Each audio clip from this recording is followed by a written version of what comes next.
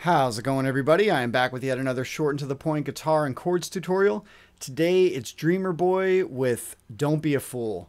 Heard the song for the first time earlier. Oh my god, fell in love with it instantly. Standard tuning, easy chords, the whole thing is four chords. C to C major 7 to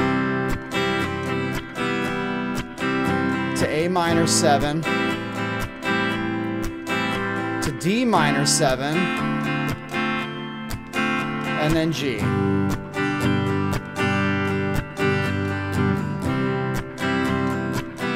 Love this guy's voice. So good. Songwriting is just on point.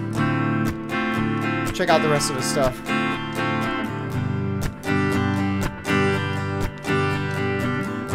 So that's pretty much it, the entire song. And then when you get to the last progression, you're just gonna it's gonna sound like it should go back to C but it doesn't. Just kind of leaves you hanging on that G and it makes you want to hear the song again with hearing that chord. So good. If you found this video helpful, please smash that like button, give it a thumbs up. Help me break through the godforsaken algorithm. If you want to see more content like this, you know what to do. Hit subscribe, ring the notification bell. I try to upload every day without fail. Guitar tutorials, gaming stuff, um, anything. You know, I love this stuff. It's great. Um, I really appreciate you subscribing and sharing this video and or watching or liking.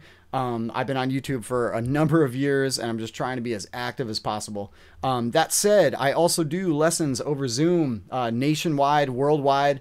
Um, you know, if you want to learn guitar, bass, drums, piano, keyboards, uh, beat making, music production, songwriting, let me know. I would love to work with you. I'm really cheap. I have glowing referrals and testimonials.